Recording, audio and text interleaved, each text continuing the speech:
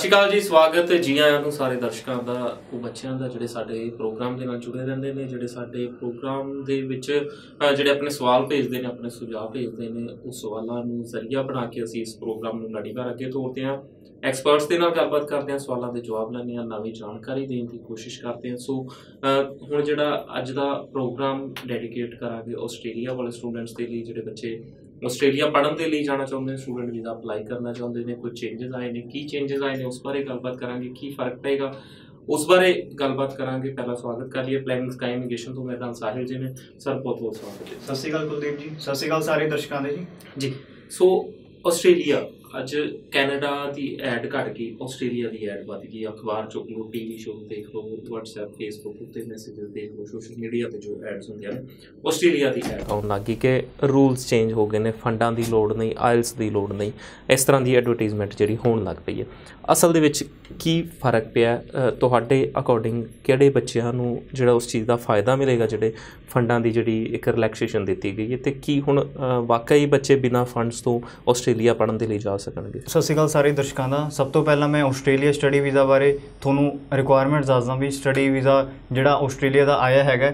ਦੇਖੋ ਕੁਝ ਜਿਹੜੇ ਐਡਸ ਦੇ ਰਹੇ ਹੈਗੇ ਫੰਡਸ ਨੂੰ ਲੈ ਕੇ ਜਾਂ ਸਟੱਡੀ ਨੂੰ ਲੈ ਕੇ ਵੀ ਉਹਨਾਂ ਦੀ ਪ੍ਰੋਫਾਈਲ ਜਿਹੜੀ ਹੈਗੀ ਹੈ 55% ਮਾਰਕਸ ਹੈਗੇ ਆ ਜਾਂ ਤੁਸੀਂ ਵਿਦਆਊਟ ਐਲਟ ਜਾ ਸਕਦੇ ਹੋ। ਬਟ ਦੇਖੋ ਜਿਹੜੀ ਰਿਕੁਆਇਰਮੈਂਟਸ ਹੈਗੀ ਆਸਟ੍ਰੇਲੀਆ ਦੀ ਮੈਂ ਤੁਹਾਨੂੰ ਉਹੀ ਦੱਸਾਂਗਾ ਸਹੀ ਸਲਾਹ ਦਵਾਂਗਾ ਤੁਹਾਨੂੰ। 5.5 ਬੈਂਡਸ ਤੁਹਾਡੇ ਹੋਣੇ ਚਾਹੀਦੇ ਆ ਅਗਰ ਤੁਹਾਡੇ 55% ਮਾਰਕਸ ਹੈਗੇ ਆ, ਤੁਸੀਂ ਤਾਂ ਕੇਸ ਅਪਲਾਈ ਕਰੋ।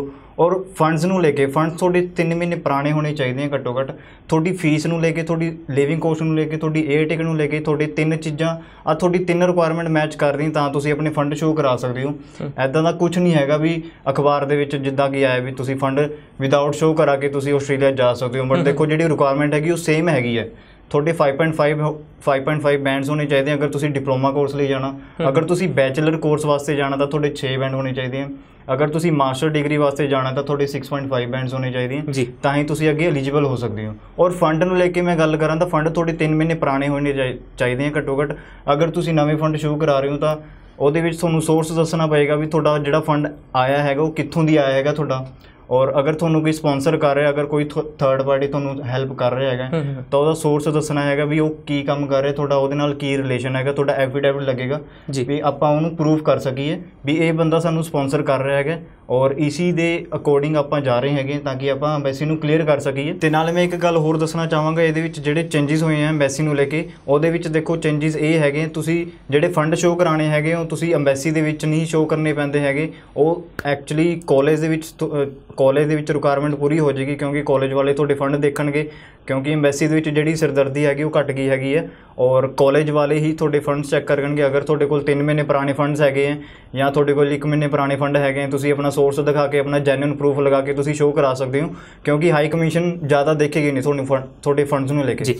ਸੋ ਬੱਚਿਆਂ ਦੇ ਲਈ ਕਾਫੀ ਚੰਗੀ ਰਾਹਤ ਵਾਲੀ ਗੱਲ ਵੀ ਹੈ, ਖੁਸ਼ਖਬਰੀ ਵੀ ਕਹਿ ਸਕਦੇ ਹਾਂ ਕਿ ਜਿਹੜੇ ਫੰਡਸ ਨੂੰ ਲੈ ਕੇ ਬੱਚਿਆਂ ਨੂੰ ਪ੍ਰੋਬਲਮ ਆਉਂਦੀ ਸੀ, ਇੱਕ ਵੱਡੀ ਰਕਮ ਫੰਡਸ ਦੀ ਜਿਹੜੀ ਆਸਟ੍ਰੇਲੀਆ ਦੇ ਵਿੱਚ ਦਿਖਾਉਣੀ ਪੈਂਦੀ ਸੀ ਔਰ ਰਿਕੁਆਇਰਮੈਂਟ ਤਾਂ ਅੱਜ ਵੀ ਰਹੇਗੀ, ਪਰ ਜਿਹੜੇ ਅੰਬੈਸੀ ਵੱਲੋਂ ਜਾਂ ਹਾਈ ਕਮਿਸ਼ਨ ਵੱਲੋਂ ਰਿਜੈਕਸ਼ਨ ਜਿਹੜੀ ਫੰਡਸ ਨੂੰ ਲੈ ਕੇ ਕੀਤੀ ਜਾਂਦੀ ਸੀ, ਉਹ ਕਿਤੇ ਨਾ ਕਿਤੇ ਘਟ ਜਾਏਗੀ। ਕਿਉਂਕਿ ਫੰਡਸ ਜਿਹੜੇ ਕਾਲਜ ਜਾਂ ਯੂਨੀਵਰਸਿਟੀਜ਼ ਆਪਣੇ ਲੈਵਲ ਤੇ ਦੇਖਣਗੇ ਸੋ ਹਰ ਇੱਕ ਕਾਲਜ ਜਾਂ ਯੂਨੀਵਰਸਿਟੀ ਦੀ ਆਪਣੀ ਜਿਹੜੀਆਂ ਰਿਕੁਆਇਰਮੈਂਟ ਰਹਿਣਗੀਆਂ ਕੋਈ 3 ਮਹੀਨੇ ਪੁਰਾਣੇ, ਕੋਈ 1 ਮਹੀਨੇ ਪੁਰਾਣੇ ਜਾਂ ਕੋਈ ਕਰੰਟ ਫੰਡ ਵੀ ਐਕਸੈਪਟ ਕਰਨਗੇ। ਸੋ ਇਸ ਬਾਰੇ ਜ਼ਿਆਦਾ ਜਾਣਕਾਰੀ ਲੈਣਾ ਚਾਹੁੰਦੇ ਹੋ ਨੰਬਰ ਫਲੈਸ਼ ਕੀਤਾ ਜਾ ਰਿਹਾ ਪਲੈਨਿੰਗ ਸਕਾਈ ਦੀ ਸਾਰੀ ਟੀਮ 24 ਘੰਟੇ ਤੁਹਾਡੀ ਸੇਵਾ ਦੇ ਵਿੱਚ ਹਾਜ਼ਰ ਹੈ।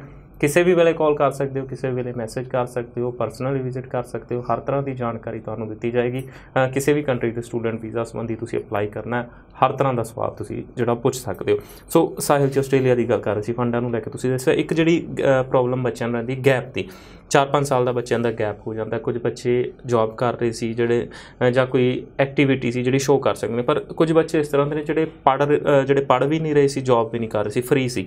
ਸੋ ਕੀ ਦੇਖਦੇ ਹੋ? ਉਹ ਬੱਚੇ ਵੀ ਆਪਣੇ ਗੈਪ ਨੂੰ ਜਸਟੀਫਾਈ ਕਰਕੇ ਜਾ ਸਕਦੇ ਨੇ ਜਾਂ ਸਿਰਫ ਉਹੀ ਗੈਪ ਐਕਸੈਪਟ ਕੀਤਾ ਜਾਏਗਾ ਜਿਸ ਵਿੱਚ ਕੋਈ ਐਕਟੀਵਿਟੀਜ਼ ਹੋਣਗੀਆਂ? ਜੀ ਇਹਦੇ ਵਿੱਚ ਮੈਂ ਤੁਹਾਨੂੰ ਤੁਹਾਡੇ ਨਾਲ ਗੱਲ ਸਾਂਝੀ ਕਰਨਾ ਚਾਹੁੰਦਾ ਜਿਹੜੇ ਕਿ ਜਿਨ੍ਹਾਂ ਦਾ ਗੈਪ ਹੈਗਾ ਜਿਨ੍ਹਾਂ ਦਾ 1 ਸਾਲ ਦਾ ਗੈਪ ਹੈਗਾ ਜਾਂ 2 ਸਾਲ ਦਾ ਗੈਪ ਹੈਗਾ ਜਾਂ 3 ਸਾਲ ਦਾ ਗੈਪ ਹੈਗਾ ਅਗਰ ਤੁਸੀਂ ਉਹ ਗੈਪ ਦੇ ਵਿੱਚ ਕੁਝ ਕੀਤਾ ਹੈਗਾ ਅਗਰ ਤੁਹਾਡੀ ਕੋਈ ਆਊਟਸਟੈਂਡਿੰਗ ਪਰਫਾਰਮੈਂਸ ਹੈਗੀ ਅਗਰ ਤੁਸੀਂ ਕ੍ਰਿਕਟ ਖੇਡਦੇ ਹੋ ਜਾਂ ਫੁੱਟਬਾਲ ਖੇਡਦੇ ਹੋ ਅਗਰ ਤੁਹਾਡਾ ਕੋਈ ਵੀ ਹੈਗਾ ਅਗਰ ਤੁਸੀਂ ਵਰਕ ਕੀਤਾ ਹੈਗਾ ਤਾਂ ਤੁਸੀਂ ਜੈਨੂਇਨ ਪ੍ਰੂਫ ਲਗਾ ਕੇ ਐਮਬੈਸੀ ਨੂੰ ਇਹ ਕਲੀਅਰ ਕਰ ਸਕਦੇ ਹੋ ਵੀ ਮੇਰਾ ਉਹ ਗੈਪ ਨਹੀਂ ਹੈਗਾ ਮੈਂ ਉਹਦੇ ਵਿੱਚ ਕੁਝ ਨਾ ਕੁਝ ਕੀਤਾ ਹੈਗਾ ਤਾਂ ਕਿ ਮੈਂ ਕਲੀਅਰ ਕਰ ਸਕਾਂ ਵੀ ਮੈਂ ਉਹਦੇ ਗੈਪ ਦੇ ਵਿੱਚ ਮੈਂ ਫ੍ਰੀ ਨਹੀਂ ਬੈਠਾ ਹੈਗਾ ਮੈਂ ਕੁਝ ਨਾ ਕੁਝ ਕੰਮ ਕੀਤਾ ਹੈਗਾ ਤਾਂ ਕਿ ਐਮਬੈਸੀ ਕਲੀਅਰ ਕਰ ਸਕੇ। ਤਾਂ ਕਿ ਅੰਬੈਸੀ ਨੂੰ ਇਹ ਲੱਗ ਸਕੇ ਵੀ ਸਟੂਡੈਂਟ ਜਿਹੜਾ ਹੈਗਾ ਜੈਨੂਨ ਹੈਗਾ ਔਰ ਜੈਨੂਨ ਜਿਹੜੀ ਹੈਗੀ ਜੈਨੂਨ ਜਿੰਨੀ ਜੈਨੂਨਟੀ ਦਿਖਾਵੇਗਾ ਆਪਣੀ ਫਾਈਲ ਦੇ ਵਿੱਚ ਉਨਾ ਹੀ ਵੀਜ਼ਾ ਦੇ ਚਾਂਸਸ ਜ਼ਿਆਦਾ ਹੋਣਗੇ। ਕਿਉਂਕਿ ਇਹਦੇ ਵਿੱਚ ਦੇਖੋ ਅਗਰ ਤੁ- ਤੁਹਾਡਾ ਗੈਪ ਹੈਗਾ 2 ਸਾਲ ਦਾ ਜਾਂ 3 ਸਾਲ ਦਾ ਤਾਂ ਗੈਪ ਦੇ ਵਿੱਚ ਦੇਖੋ ਤੁਸੀਂ ਕੁਝ ਨਾ ਕੁਝ ਸ਼ੋਅ ਕਰ ਸਕਦੇ ਹੋ। ਅਗਰ ਤੁਹਾਡੀ ਕੋਈ ਮੈਡੀਕਲ ਰਿਪੋਰਟਸ ਹੈਗੀ ਹੈ ਤੁਸੀਂ ਉਹ ਸ਼ੋਅ ਕਰਾ ਸਕਦੇ ਹੋ। ਬਾਕੀ ਦੇਖੋ ਅੰਬੈਸੀ ਨੂੰ ਕਲੀਅਰ ਹੋਣਾ ਚਾਹੀਦਾ ਹੈਗਾ ਹਰ ਇੱਕ ਚੀਜ਼ ਕਲੀਅਰ ਹੋਣੀ ਚਾਹੀਦੀ ਹੈ। ਕਿਸੇ ਚੀਜ਼ ਨੂੰ ਲੈ ਕੇ ਕੋਈ ਲੁਕਾਉ ਨਹੀਂ ਹੋਣਾ ਚਾਹੀਦਾ ਅੰਬੈਸੀ ਨੂੰ। ਮਤਲਬ ਜੋ ਵੀ ਐਕਟੀਵਿਟੀਜ਼ ਰਹੀਆਂ ਜੋ ਵੀ ਕੀਤਾ ਉਹ ਅਗਰ ਸਹੀ ਤਰੀਕੇ ਨਾਲ ਸੱਚੇ ਤਰੀਕੇ ਨਾਲ ਦੱਸਿਆ ਜਾਏ ਤਾਂ ਕਿਤੇ ਨਾ ਕਿਤੇ ਸਕਸੈਸ ਰੇਟ ਵੱਧਦਾ ਹੈ ਐਮਬੈਸੀ ਜਾਂ ਹਾਈ ਕਮਿਸ਼ਨ ਦੇ ਵਿੱਚ ਜਿਹੜੇ ਵੀਜ਼ਾ ਆਫੀਸਰ ਨੇ ਉਹ ਸਮਝਦੇ ਨੇ ਉਸ ਜੀ ਚੀਜ਼। ਬਿਲਕੁਲ ਜੀ ਸੋ ਗੈਪ ਵਾਲੇ ਬੱਚੇ ਵੀ ਅਪਲਾਈ ਕਰ ਸਕਦੇ ਨੇ ਆਸਟ੍ਰੇਲੀਆ ਦੀ ਖਾਸ ਕਰਕੇ ਜਿਹੜਾ ਅੱਜ ਦਾ ਸ਼ੋਅ ਆਸਟ੍ਰੇਲੀਆ ਨੂੰ ਲੈ ਕੇ ਕੀਤਾ ਜਾ ਰਿਹਾ ਮੇਰੇ ਨਾਲ ਪਲੈਨਿੰਗ ਸਕਾਈ ਤੋਂ ਸਾਹਿਲ ਜੀ ਨੇ। ਬੱਚੇ ਜਿਹੜੇ ਸਪਾਊਸ ਦੇ ਨਾਲ ਅਪਲਾਈ ਕਰਨਾ ਚਾਹੁੰਦੇ ਨੇ ਉਹਨਾਂ ਨੂੰ ਕਾਫੀ ਕਨਫਿਊਜ਼ਨ ਰਹਿੰਦੀ ਹੈ ਕਿ ਪਲੱਸ 2 ਤੋਂ ਬਾਅਦ ਅਪਲਾਈ ਕੀਤਾ ਜਾਏਗਾ ਜਾਂ ਗ੍ਰੈਜੂਏਸ਼ਨ ਤੋਂ ਬਾਅਦ ਕੀਤਾ ਜਾਏਗਾ। ਦੂਜੀ ਚੀਜ਼ ਰਹਿੰਦੀ ਕਿ ਸਪਾਊਸ ਦਾ ਪੜ੍ਹਿਆ ਲਿਖਿਆ ਹੋਣਾ ਵੀ ਜ਼ਰੂਰੀ ਹੈ ਗ੍ਰੈਜੂਏਟ ਹੋਣਾ ਜ਼ਰੂਰੀ ਹੈ ਜਾਂ ਕੁਝ ਕੰਸਲਟੈਂਟ ਕਹਿ ਰਹੇ ਨੇ ਕਿ 12ਵੀਂ ਪਾਸ ਸਪਾਊਸ ਦਾ ਵੀਜ਼ਾ ਵੀ ਲੱਗਿਆ। ਸੋ ਤੁਹਾਡਾ ਕਿਸ ਤਰ੍ਹਾਂ ਦਾ ਐਕਸਪੀਰੀਅੰਸ ਹੈ ਇਸ ਨੂੰ ਲੈ ਕੇ? ਦੇਖੋ, ਮੈਂ ਇਹੀ ਗੱਲ ਕਹਿਣਾ ਚਾਹਾਂਗਾ ਜਿੱਦਾਂ ਕਿ ਇਹਨਾਂ ਨੇ ਸਪਾਊਸ ਬਾਰੇ ਪੁੱਛਿਆ ਹੈਗਾ। ਸਪਾਊਸ ਦੀ ਜਿਹੜੀ ਰਿਕੁਆਇਰਮੈਂਟ ਰਹਿਣਗੀ ਦੇਖੋ ਮੇਨ ਐਪਲੀਕੈਂਟ ਦੀ ਜਿਹੜੀ ਕੁਆਲੀਫਿਕੇਸ਼ਨ ਹੋਣੀ ਚਾਹੀਦੀ, ਉਹ ਗ੍ਰੈਜੂਏਟ ਗ੍ਰੈਜੂਏਟ ਹੋਣੀ ਚਾਹੀਦੀ ਹੈ। ਔਰ ਸਪਾਊਸ ਨੂੰ ਲੈ ਕੇ ਇਹ ਮੈਟਰ ਨਹੀਂ ਕਰਦਾ ਵੀ ਸਪਾਊਸ ਦੀ ਗ੍ਰੈਜੂਏਸ਼ਨ ਹੀ ਹੋਣੀ ਚਾਹੀਦੀ ਤਾਂ ਤਾਂ ਹੀ ਤੁਸੀਂ ਆਪਣਾ ਕੇਸ ਐਮਐਸਸੀ ਦੇ ਵਿੱਚ ਲਗਾਓ। ਮੇਨ ਐਪਲੀਕੈਂਟ ਦੀ ਗ੍ਰੈਜੂਏਸ਼ਨ ਹੋਣੀ ਚਾਹੀਦੀ ਔਰ ਸਪਾਊਸ ਦੀ ਅਗਰ ਪਲੱਸ 2 ਹੈਗੀ ਉਹ ਕੇਸ ਲਗਾ ਸਕਦਾ ਵਿਦ ਓਵਰਆਲ 6.5 ਬੈਂਡਸ ਨਾਲ with no band no band less than 6 in each module ਜੀ। ਤੇ ਉਹਨਾਂ ਦੀ ਜਿਹੜੀ ਰਿਕੁਆਇਰਮੈਂਟ ਹੋਣਗੀਆਂ ਫੰਡਸ ਨੂੰ ਲੈ ਕੇ ਫੰਡਸ ਜਿਹੜੇ ਮੇਨ ਐਪਲੀਕੈਂਟ ਦੇ ਹੈਗੇ ਲਿਵਿੰਗ ਕੋਸਟ ਹੋ ਗਈ 1 ਸਾਲ ਦੀ ਔਰ 1 ਸਾਲ ਦੀ ਫੀਸ ਹੋ ਗਈ ਔਰ ਉਹਨਾਂ ਦੀ ਇਹ ਟਿਕਟ ਹੋ ਗਈ। ਟੋਟਲ ਫੰਡਸ ਦੀ ਮੈਂ ਗੱਲ ਕਰਾਂ ਸਪਾਊਸ ਦੀ ਤਾਂ ਦੇਖੋ ਉਹਦੇ ਵਿੱਚ ਸਪਾਊਸ ਦੇ ਫੰਡਸ ਹੋ ਗਏ 7000 ਡਾਲਰ ਔਰ ਮੇਨ ਐਪਲੀਕੈਂਟ ਦੇ ਫੰਡਸ ਹੋ ਗਏ ਟੋਟਲ ਫੰਡਸ ਤੁਸੀਂ ਸ਼ੋਅ ਕਰਵਾ ਸਕਦੇ ਹੋ। ਤਾਂ ਕਿ ਇੰਵੈਸਟਰ ਨੂੰ ਕਲੀਅਰ ਕਰ ਸਕੇ ਵੀ ਸਪਾਊਸ ਤੁਹਾਡੇ ਨਾਲ ਜਾ ਰਿਹਾ ਹੈਗਾ ਔਰ ਉਹਦੇ ਫੰਡ ਵੀ ਸ਼ੋਅ ਕਰਾ ਰਹੇ ਹੈਗੇ ਤਾਂ ਆਪਾਂ ਕਲੀਅਰ ਕਰ ਸਕੀਏ ਇੰਵੈਸਟੀ ਨੂੰ। ਔਰ ਇਹਦੇ ਵਿੱਚ ਦੇਖੋ ਤੁਹਾਡੇ ਜਿਹੜੇ ਬੈਂਡਸ ਹੋਣੇ ਚਾਹੀਦੇ 6.5 ਬੈਂਡਸ ਹੋਣੇ ਚਾਹੀਦੇ ਬਾਕੀ ਆਪਣੇ ਆਪ ਨੂੰ ਤੁਸੀਂ ਜੈਨੂਨ ਪ੍ਰੂਫ ਕਰਨਾ ਆਪਣੇ ਆਪ ਨੂੰ ਜੈਨੂਨ ਤੁਸੀਂ ਜੈਨੂਨਟੀ ਦਿਖਾਣੀ ਹੈ ਆਪਣੇ ਪੇਪਰ ਨੂੰ ਲੈ ਕੇ ਕਿਉਂਕਿ ਕਾਫੀ ਜਿਹੜੇ ਏਜੰਟ ਕਾਫੀ ਜਿਹੜੇ ਕਲਾਇੰਟਸ ਹੈਗੇ ਜਾਂ ਕੈਂਡੀਡੇਟਸ ਹੈਗੇ ਉਹ ਆਪਣੇ ਡਾਕੂਮੈਂਟਸ ਫੇਕ ਦਿਖਾ ਦਿੰਦੇ ਆ ਆਪਣੇ ਵਰਕ ਨੂੰ ਲੈ ਕੇ ਜਾਂ ਕੁਝ ਵੀ ਲੈ ਕੇ। ਸੋ ਤੁਸੀਂ ਜਿੰਨੇ ਵੀ ਡਾਕੂਮੈਂਟਸ ਦਿਖਾਣੇ ਹੈਗੇ ਸਾਰੇ ਆਪਣੇ ਪ੍ਰੂਫ ਜੈਨੂਨ ਦਿਖਾਣੇ ਤਾਂ ਕਿ ਆਪਾਂ ਐਮਬੈਸੀ ਨੂੰ ਜੈਨੂਨ ਫਾਈਲ। ਸਬਮਿਟ ਕਰਾ ਸਕੀ ਤਾਂ ਕਿ ਆਪਾਂ ਤੁਹਾਡਾ ਵੀਜ਼ਾ ਜਿਹੜਾ ਹੈਗਾ ਲੱਗ ਸਕੇ। ਜੀ ਫਾਈਲ ਦੇ ਵਿੱਚ ਇੱਕ ਡਾਕੂਮੈਂਟ ਲੱਗਿਆ ਹੁੰਦਾ ਹੈ ਐਸਓਪੀ ਸਟੇਟਮੈਂਟ ਆਫ ਪਰਪਸ ਕਾਫੀ ਬੱਚਿਆਂ ਨੂੰ ਇਸ ਬਾਰੇ ਪਤਾ ਹੈ ਕਾਫੀ ਬੱਚਿਆਂ ਨੂੰ ਸ਼ਾਇਦ ਨਹੀਂ ਵੀ ਪਤਾ ਹੋਵੇਗਾ ਕਾਫੀ ਕੰਸਲਟੈਂਟ ਦੱਸਦੇ ਨਹੀਂ।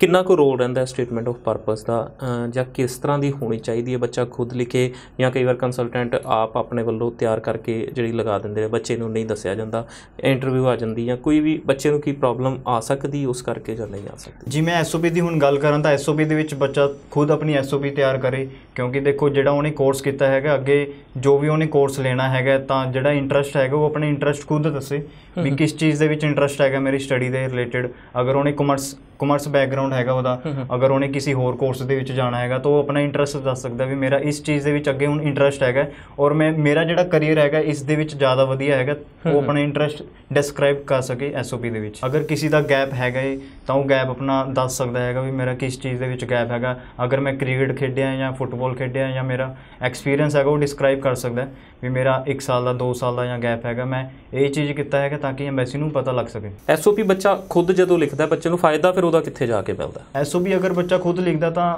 ਕੱਲ ਨੂੰ ਅਗਰ ਇੰਟਰਵਿਊ ਆ ਵੀ ਜਾਂਦੀ ਹੈਗੀ ਤਾਂ ਬੱਚਾ ਖੁਦ ਹੈਂਡਲ ਕਰ ਸਕਦਾ ਹੈਗਾ ਵੀ ਮੈਂ ਇਹ ਚੀਜ਼ਾਂ ਲਿਖੀਆਂ ਸੀਗੀਆਂ ਔਰ ਮੈਨੂੰ ਇਹ ਚੀਜ਼ਾਂ ਦਾ ਮੈਨੂੰ ਪਤਾ ਹੈਗਾ ਅਗਰ ਕਿਉਂਕਿ 50 50 ਚਾਂਸ ਹੁੰਦੇ ਆ ਮੈਸੀ ਦੇ ਅਗਰ ਇੰਟਰਵਿਊ ਫੋਨ ਤੇ ਵੀ ਆ ਸਕਦੀ ਹੈ ਫੇਸ ਟੂ ਫੇਸ ਬੁਲਾ ਵੀ ਸਕਦਾ ਹੈਗਾ ਵੀ ਐਸਓਬੀ ਦੇ ਵਿੱਚ ਕੀ ਲਿਖਿਆ ਹੋਇਆ ਹੈ ਵੀ ਹੁਣ ਤੁਹਾਡਾ ਜਿਹੜਾ ਕਮਰਸ ਬੈਕਗ੍ਰਾਉਂਡ ਹੈ ਔਰ ਤੁਸੀਂ ਆਪਣੀ ਸਟਰੀਮ ਚੇਂਜ ਕਰ ਰਹੇ। ਹੋ ਤਾਂ ਦੇਖੋ ਐਮਬੈਸੀ ਦੇ ਵਿੱਚ ਬੁਲਾਣਾ ਪੈ ਗਿਆ ਤਾਂ ਐਮਬੈਸੀ ਨੂੰ ਫੇਸ ਕਰਨਾ ਪੈਂਦਾ ਹੈਗਾ ਕਲਾਇੰਟ ਨੂੰ।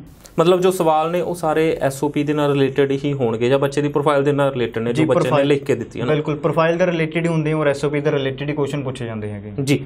ਸੋ ਬੱਚਿਆਂ ਨੂੰ ਕੋਸ਼ਿਸ਼ ਕਰਨੀ ਚਾਹੀਦੀ ਖੁਦ ਐਸਓਪੀ ਲਿਖਣ, ਖੁਦ ਜਿਹੜਾ ਉਸ ਚੀਜ਼ ਨੂੰ ਰੀਡ ਕਰਨ, ਆਪਣੇ ਹੱਥ ਨਾਲ ਬਣਾਉਣ, ਤਾਂ ਜੋ ਇੰਟਰਵਿਊ ਆਉਂਦੀ ਹੈ, ਤਾਂ ਉਹੀ ਚੀਜ਼ਾਂ ਜਿਹੜੀਆਂ ਪੁੱਛੀਆਂ ਜਾਣਗੀਆਂ ਜੋ ਅੱਜ ਤੁਸੀਂ ਐਸਓਪੀ ਦੇ ਵਿੱਚ ਦੱਸ ਰਹੇ ਹੋ, ਉਹੀ ਚੀਜ਼ਾਂ ਤੁਹਾਨੂੰ ਇੰਟਰਵਿਊ ਦੇ ਵਿੱਚ ਦੱਸਣੀਆਂ ਪੈਣਗੀਆਂ, ਸੋ ਕੋਸ਼ਿਸ਼ ਕਰਿਆ ਕਰੋ ਆਪਣੇ ਕੰਸਲਟੈਂਟ ਦੇ ਨਾਲ ਕੰਟੀਨਿਊ ਜਿਹੜਾ ਇੱਕ ਤਾਲਮੇਲ ਬਣਾ ਕੇ ਰੱਖੋ, ਆਪਣੀ ਫਾਈਲ ਦੇ ਵਿੱਚ ਦੇਖੋ ਕਿਹੜੇ ਕਿਹੜੇ ਡਾਕੂਮੈਂਟ ਲਗਾਏ ਜਾ ਰਹੇ ਨੇ, ਕਿਤੇ ਕੋਈ ਗਲਤ ਇਨਫੋਰਮੇਸ਼ਨ ਜਾਂ ਗਲਤ ਡਾਕੂਮੈਂਟ ਤਾਂ ਨਹੀਂ ਲਗਾਇਆ ਜਾ ਰਿਹਾ, ਜੀ ਐਸਓਪੀ ਲਗਾਈ ਜਾ ਰਹੀ ਤਾਂ ਉਸ ਵਿੱਚ ਜਿਹੜੀ ਇਨਫੋਰਮੇਸ਼ਨ ਦਿੱਤੀ ਜਾ ਰਹੀ ਹੈ, ਉਹ ਸਹੀ ਦਿੱਤੀ ਜਾ ਰਹੀ ਹੈ। ਅਗਰ ਅੱਜ ਤੁਸੀਂ ਜੈਨੂਨ ਤਰੀਕੇ ਦੇ ਨਾਲ ਅਪਲਾਈ ਕਰਦੇ ਹੋ, ਤਾਂ ਕਿਤੇ ਨਾ ਕਿਤੇ ਉਹਦਾ ਫਾਇਦਾ ਮਿਲਦਾ ਹੈ।